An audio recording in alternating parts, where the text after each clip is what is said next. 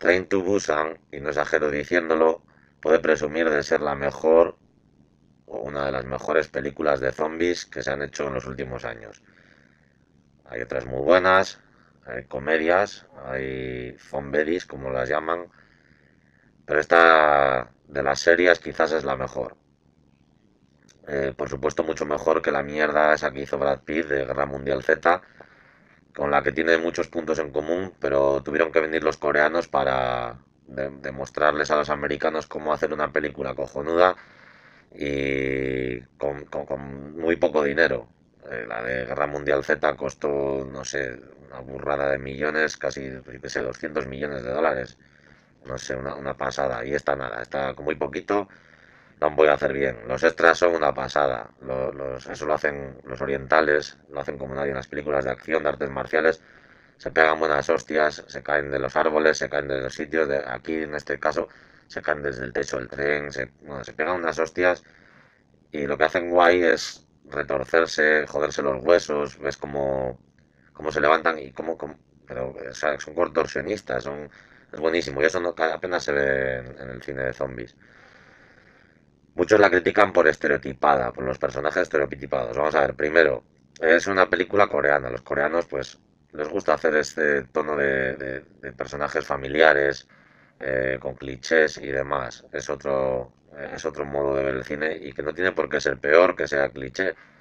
De hecho, lo, lo cojonudo es ver algo que es cliché, que te es familiar y te, te suena, pero que están bien dibujados. Todos estos personajes están muy bien dibujados, definidos funcionan perfectamente. El villano, el héroe, el padre que acaba siendo un héroe, pero que empieza siendo un ser miserable, la niña, y todos lo hacen muy bien. Los actores hacen un grandísimo trabajo, el maquillaje, los efectos especiales técnicamente soberbia, eh, pero tiene muchísimo ritmo, muchísima acción. O sea, subirse al tren y una vez que suena el tren, arranca el tren, el ritmo es endiablado, va, va follado el, el tren con todos los infectados, cómo se van convirtiendo. Todas esas masas de zombies que veíamos en la Guerra Mundial Z, que era lo, más novedoso y sorprendente de esa peli, por no sé decir lo único destacable.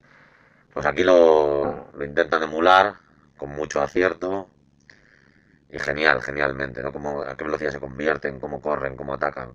Y es curioso porque no es una peligore, ahí, ahí se intuye la sangre, pero no se ven desmembramientos, no se ven tripas, no es como Walking Dead o muchas otras de zombies que, en las que se lucen con la casquería.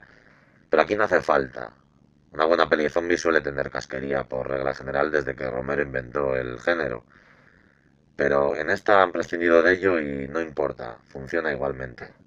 Eh, no, es, no era necesario. Aquí los tiros van por otro lado y está genial. Y hablando de tiros, Tampoco hay tiros y se agradece. Se agradece una puta peli de zombies que no haya disparos.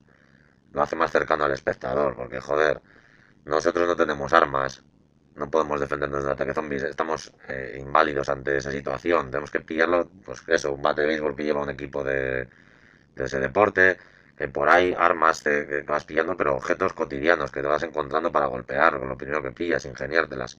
¿Cómo se las ingenian? Aquí introducen también un elemento novedoso, que es el de la oscuridad. Cuando pasan por un túnel, los zombies se quedan ante la oscuridad paralizados. Y eso, pues ahí pueden aprovechar a jugar, ¿no? El, director para jugar con los personajes en cómo apañárselas para pasar. Un poco como un videojuego, ¿no?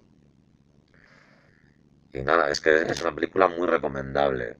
Eh, yo la vi, eh, pues eh, se pirateó muy rápido esta película y no pude esperar por las buenas críticas que tuvo en Corea. Y la vi, me flipó, pero la he ido a ver al cine. Eh, la he visto en pantalla grande y es que es una pasada. Yo os la recomiendo a todos. Al que le guste el cine de zombies, por supuesto. Al que le guste el cine de acción, por supuesto. Y al que le guste el cine en general, le va a encantar. Es una película para todos los públicos. Pero claro, tiene un tono familiar pero con un fondo eh, muy violento. Situaciones, pues, con violencia, muerte, y, tiene algo de humor. Tiene, ciertos toques de humor. Es muy divertida. Los personajes son carismáticos. Y el final, pues, eh, tiene, tiene sus partes melodramáticas que funcionan muy bien. Le queda, le queda perfecto. no, no es que no hay, no hay, yo no le saco ninguna pega. A mí me encanta. No, no hay, no hay pega. Eh, ha recibido varios premios, ha tenido éxito de público, de crítica. Eh, vamos, de lo mejor del año pasado y de los últimos años, que coño, ya lo he dicho, que es de las mejores películas de zombies en los últimos años, sino la mejor. Y nada, no sé qué más puedo contar, no voy a extender la, review. Y nada, que la veáis, que la veáis porque es un flipe, es un puto flipe de Busan. Los coreanos sí que saben hacer cosas hartas. Es que, ya veréis, es que es una detrás de otra. Empiezan a suceder cosas alucinantes, de escenas espectaculares una detrás de otra, cosas que no has visto antes en películas de zombies. A nivel de espectacular, de locura. es que es una locura. Miradla.